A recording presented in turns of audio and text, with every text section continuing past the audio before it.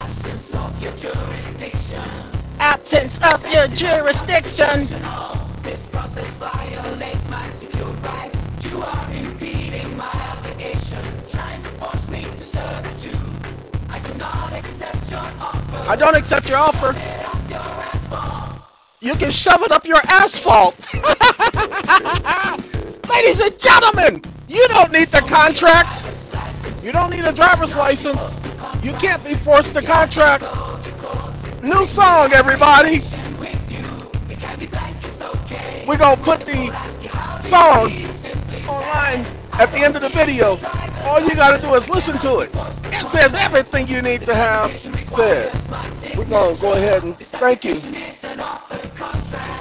Application is an offer to contract.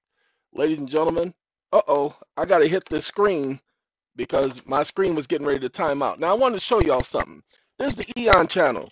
Do you see right here? 5 million views. But if you look at this stuff, it only says like 800 and 1,000. Don't believe that, people. Do not go off of what you're seeing underneath the videos. I ain't made a dime off of this. Oh, uh, su- subscribe, subscribe, subscribe. Oh, please subscribe to my channel and hit like. It would really help the algorithm. You don't hear me doing none of that bull crap. You don't hear me. Eventually, I, I told one of the staff members that I will let them go ahead and monetize the website. You know, they've been asking, why don't I do it? And I told them, all right, fine. But, ladies and gentlemen, if you see on any of my videos any commercials, that's Google making money off of that. That's not me. I have not made a dime off of YouTube. Now, look, wait, hold on. This is just one channel. We're not even going to talk about the channel that had 10 million views. Okay, that they took down, or the other channels that they took down. Please understand, I'm not doing this for views. I could care less how many people view my videos. Okay? All right? Ladies and gentlemen, I could care less. I'm not I'm not looking for that. I'm just putting out information. So let's talk about the contract thing cuz I am really I got to I got to get rid of this. I got to reinstall that, dude. Uh this is Revo uninstaller. Hey, if you guys want to have programs that you can install that have uh, you know those ones that have the 30 day limits you just use revo and then reinstall the program it completely wipes it from your system so you can reinstall it revo uninstaller. Am i advertising revo you better believe it. Look two things. I just explained this to the staff. I've already explained this on video. Ladies and gentlemen interest of the estate. Remember you have an estate. Everybody has an estate. That sole proprietorship is an estate. A sole proprietor can use chapter 11 you want to go under 541. That's where you recognize that all of your interests, all of you people who've lost property and they said it was in rem, you got to go back into court and say, uh, you need to explain how when it says in here, all of the following property, all of it, not part of it, all of it, all of your interests in the following property. See, equitable and legal. As long as your name is on the title, you have a legal interest. As long as you live on the property, you have an equitable interest. It includes all of your legal and equitable interests in the property, including court cases. You have an interest in the court case. If you don't have an interest in the case, then why is your name on it? So that's why you get to include your court cases. It includes claims and filed cases against you or cases you filed. Don't believe me? Do your research, people. All right, got that out of the way. Now let's get on over to talking about the contracting. We got to go back here and we're going to go to Chat GPT. I'm going to let, well, this is Perplexity. Is this, no, this is Chat GPT. He gave, they gave me some laws, but let me let me let you know we, what we asked. We ain't gonna do everything because it's a lot. I had to let me show you guys how to use ChatGPT. You already know what you're looking for. So you have to start off as if you're not looking for it. So the first thing I said, did you know that an application is a contract?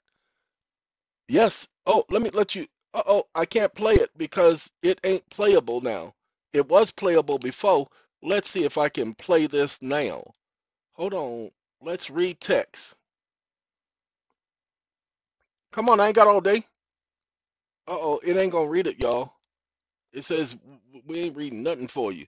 Let's read aloud here. Yes, Nope.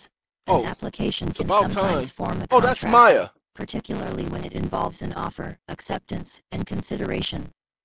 In legal terms, a contract is formed when there is an offer made by one party, acceptance of that offer by another party, and consideration exchanged between the parties. An application can sometimes meet these requirements, especially if it involves an offer of employment or participation in a program, and the applicant agrees to the terms outlined in the application. However, whether or not an application constitutes a contract depends on various factors, including the worried about those factors.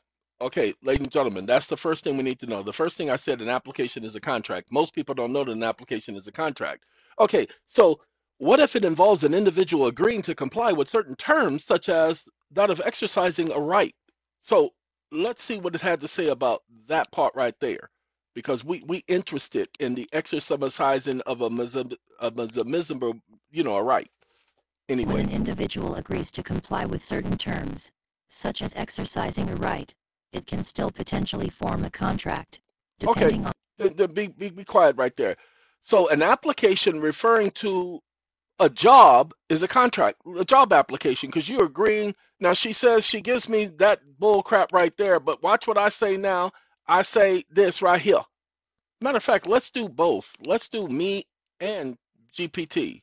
So we're gonna do both. Come on now, get on. Keep on, keep on, keep on moving. Gonna keep on, keep on, keep on moving. Gonna keep on moving and dancing all through the night. Brady Bunch. if the application for a job requires one to submit to a drug screening, and their signature attesting to the information in their compliance with the terms of the application, this constitutes a contractual agreement. A contractual agreement is not just one that details value in consideration, it's also one whereby a party admits or agrees to something and then signs the document attesting to its accuracy. ChatGPT Yes. If an application for a job includes terms requiring the applicant to submit to a drug screening and the applicant's signature attests to their compliance with those terms, it can indeed constitute a contractual agreement.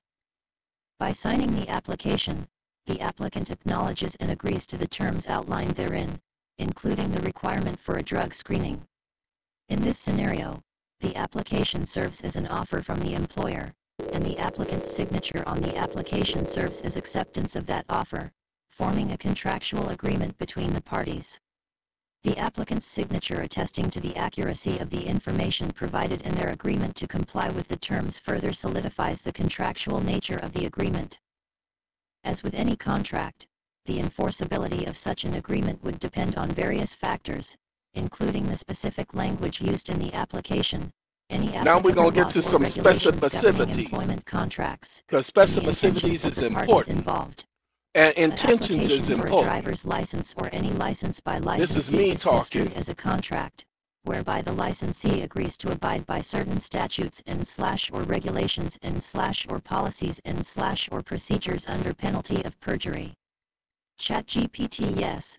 The application process for obtaining a driver's license or any other type of license typically involves the licensee agreeing to abide by certain statutes, regulations, policies, and procedures. In many jurisdictions, the act of applying for a license is considered a contractual agreement between the licensee and the licensing authority. When an individual applies for Ladies and gentlemen, I asked it to give me some case laws. So now I'm going to create a document for you guys. Paste. And we're going to take these case citations. And I check these case citations. So we're going to copy. And we're going to,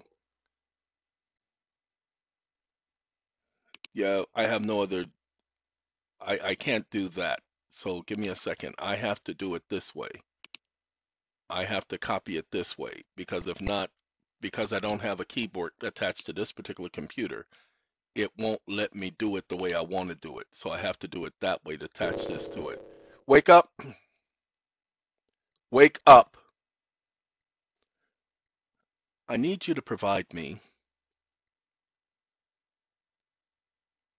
with a motion to dismiss in the Superior Court of Los Angeles, California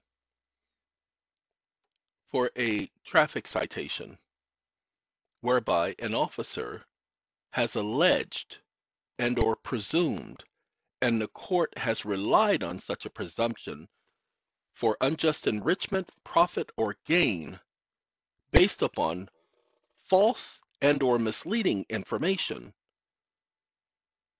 leading to damage to my person and my property whereby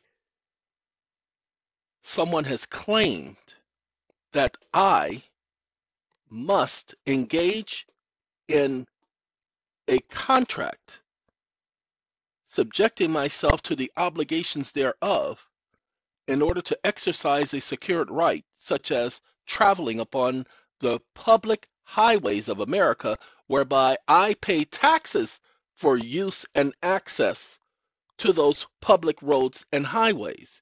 Period. The very mere fact that I pay taxes to support and or build and or maintain these public throughways and or roads and or highways gives me the right to access that because I paid for the right of access. Period. But nowhere does the law require me to contract with government for exercising the right and or to sign a contract with a government agency such as the Department of Motor Vehicles to exercise this right. Period. Impeding the obligation of contract violates my rights under the Constitution. Exclamation mark. Further, comma, the law prohibits involuntary servitude, comma, thereby explaining why government needs an individual to agree to the contract voluntarily, comma, which means it's not an obligation. Period. So my rights secured by the First Amendment, comma, the Fourth Amendment, comma, the Fifth Amendment, comma, the Eighth Amendment, comma, the Tenth Amendment, as well as the Thirteenth Amendment have been violated.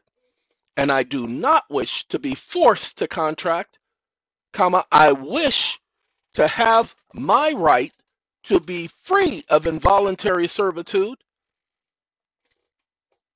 recognized in all jurisdictions period. And since this right is secured by the constitution comma and the court must abide by the constitution comma it means that the court and its officers are operating in clear absence of all jurisdiction and the matter must be dismissed with prejudice as a matter of right. And this shall serve as my petition for redress of grievances exclamation mark. You are to include an introductory section a table of authority section table of contents section a body comma and intro scratch that comma a body comma a summarization section comma you're to change the word submit to present and submit it to present it you're also to change the word argument to presentment. Exclamation mark. Stop listening. Ladies and gentlemen i just showed you how to create a motion. It really is that simple. Let's let's take a look. ChatGPT 5 Superior Court of Los Angeles County, California, your full name, your address, city, state, zip code, your phone number, your email address, plaintiff, defendant, versus, officer's name or department. and all you do when she fin- when it finishes the only thing you do is you go back in and you add what you need to add to it. You you keep out all that other junk you've been hearing on these other stupid videos with these other with these individuals who are telling you what you should and should not be doing. I'm not telling you what you should and should not be doing. What i'm telling you is what the law says. So let's go over those case citations. Now we're going to stop there you're going to get a copy of this it's ChatGPT 5 3.5 so you can go and continue this conversation this is up to you you get the motion and everything it's the link will be in the description you need to understand Get a copy. I told you guys, get a copy of the DMV application. Officer pulls you over, show him that. I'm not required to have a license. This is a contract. And then when you do that, attach just these five cases, ladies and gentlemen. Now look, I'm going to do y'all a favor. I'm going to not only attach this, but we're going to go to NOI. NOI! NOI, get over here. You know I need to talk to you. This is NOI, ladies and gentlemen. Now this is PO. Po, po, po, po, po, po. Oh no, we can't go to NOI. this is something, this is the bankruptcy one. We can't go to NOI. We have to go to Perplexity. Where did I open up Perplexity at? Is it here? This is Perplexity. This is where I went to Perplexity. Now, I want y'all to understand, these are the four cases that I put in there. The answer, the cases establish that the signing of a driver's license and driver's registration application under penalty of perjury constitute a contractual agreement between the applicant and the state to comply with applicable laws and regulations governing driver's license and motor vehicle. By we're gonna click on number one. We're gonna click on it because that's what perplexity does. It gives us links and opinion and order. Ladies and gentlemen, I have no idea what this case is. Now hold on not now. This breach of contract case arises from the settlement agreement following litigation regarding tenancy. Meriwether, the landlord, leased commercial property to the defendant. Meriwether subsequently brought an eviction action, and I guess this is where they're going to talk about contract. Okay? And that's, I don't know what this is talking about. But I know allegations are true, construed in the light most favorable. Well played allegation, factual allegations. You're just bringing up facts. That's why you bring up facts and conclusions of law.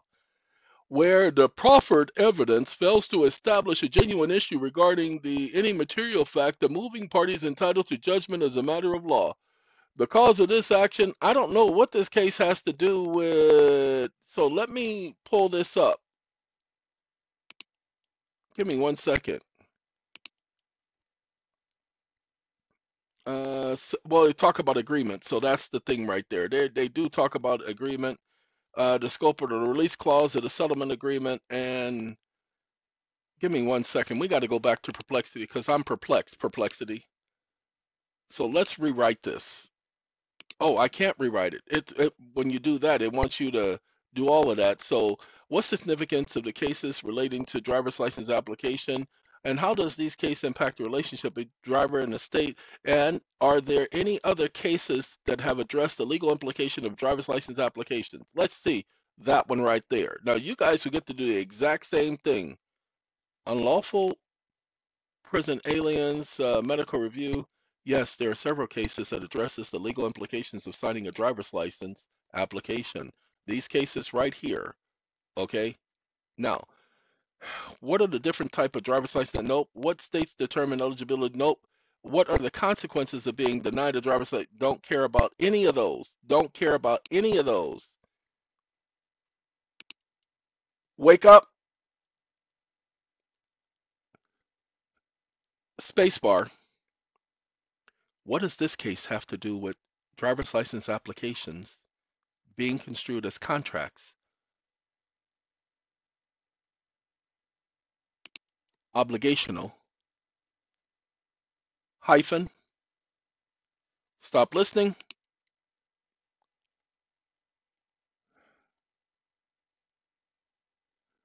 Michigan Court of Appeals does not appear to directly address the issue of driver's license applications being construed as contractual obligation. This case seems to be a business dispute. Uh, then why did you list it? The other search provides does not appear. Okay, give me one second. Uh, obligational contracts differ from other types of contracts.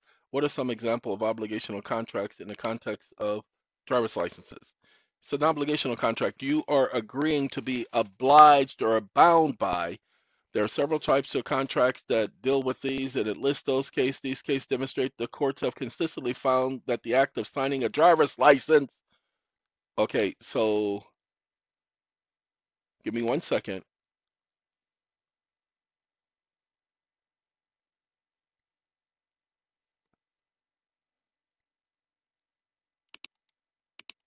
I messed up. I apologize. We got to go all the way down here. And we go copy. and we go, GPT, where you at, homie? All right, we got GPT. Wake up. I need you to redo that petition, comma, it wasn't detailed enough, and it doesn't seem like it is as professional as it should be. I need you to redo that motion, comma, it wasn't detailed enough, comma, and it doesn't seem like it was professional as would be suitable for court. Period. You are much better than this, comma, you need to do better. Colon. Spacebar.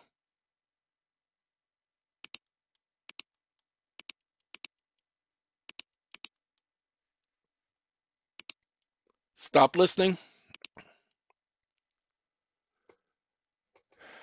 Okay, ladies and gentlemen, this is for you guys. This makes the petition a little bit more detailed. It also includes the information that we gave there, and it doesn't need to put the information, 'cause it's the same information and all of that. So we have our table of authorities. Look at what they did right here. Comes now, blah, blah, blah. Table of contents, table of authorities, presentment of facts, presentation of argument, not supposed to use argument. So you're going to have to, and not supposed to use submitted. It's presented and wait a minute. Wake up. Did I not tell you not to use the word argument or submit it? Question mark. Do it again. Stop listening. I apologize, y'all. Sometimes she can be so stupid. So we're gonna we're gonna let her be. And now you get to have the three different motions and y'all can choose. Okay? So we're gonna let y'all listen to my song. Hold on. So that y'all can hear the song because we're gonna end the video with the song. Okay? Because it's a song. Come on now, right here. I don't need an application. I cannot be forced to contract. You are in complete absence of your jurisdiction. This process is unconstitutional. This process violates my secured rights. You are impeding my trying to force me to servitude. I do not accept your offer. You can shove it up your ass. Oh. I'm sorry. I think that's hilarious. You can shove it up your ass, asphalt. Man, I, hey, hey, hey, I didn't try to do that. I did not. It just, it, I was trying to come up with a statement that I would say to a judge. And you guys can't do that, okay? I can do that type of stuff. I can be sarcastic with them. And it's not getting away with it, it's knowing when and how and in what language to do so. Ladies and gentlemen, you got a court case dealing with a ticket. Take that motion, put it on the record, do the caption correct for the case that you're putting it in, and then appeal on just that issue right there. No government agency, the government cannot impede the obligation to contract, which means they can't force you to contract. It's a violation of the contract clause, which is the government cannot impede the obligation to contract, and the 13th Amendment, which says involuntary servitude is unconstitutional. See, they can't force you to contract. So, well, if you want the privilege of driving, driving is not a privilege. Driving is a right. The right to travel on the highways is a right. It's not a privilege. Y'all need to pay attention. Share this with your friends. Hey, I gotta go. I would love to keep talking, but we're we're keeping these videos to a minimum. And so I gotta go. Okay? Have a good day, y'all. 25 minutes. Well, 23 minutes, 55 seconds. Bye-bye.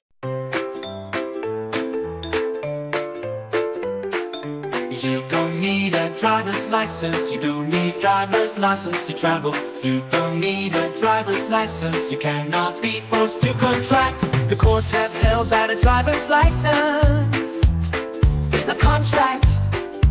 See the description under the video for proof. You don't need a driver's license for traveling, it's a right. You must drive safely because common law requires such 300 miles an hour is not safe under any circumstances. Why? Because if you try to stop suddenly, you are out of control don't need a driver's license, but you must be reasonable. You don't need a driver's license, but you must, absolutely must understand.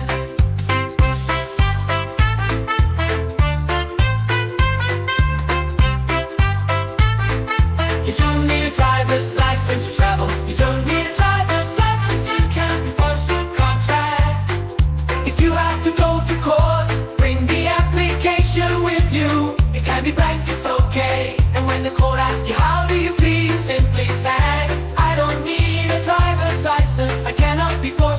contract. This application requires my signature. This application is an offer contract. I don't need an application. I cannot be forced to contract. You are in complete absence of your jurisdiction.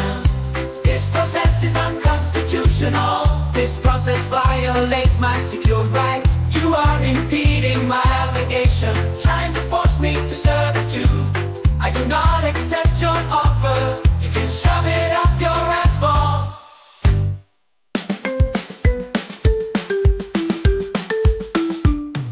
You don't need a driver's license. You cannot be forced to contract. If you have to go to court, bring the application with you. It can be blank, it's okay. And when the court asks you, how do you please, simply say, I don't need a driver's license. I cannot be forced to contract.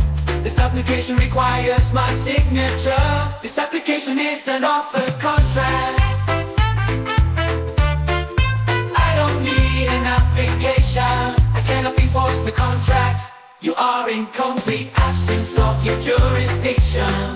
This process is unconstitutional. This process violates my secure right. You are impeding my obligation, trying to force me to servitude. I do not accept your offer. You can shove it up your ass. Oh.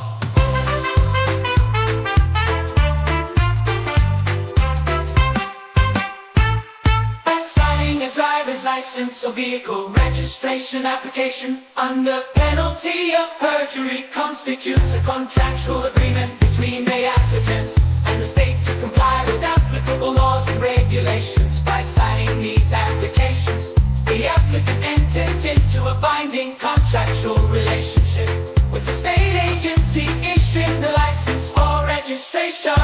If you get pulled over, the officer asks you for your registration. Registration is also an application and offer to contract. I don't need proof of registration. I cannot be forced to contract. I cannot be forced to contract?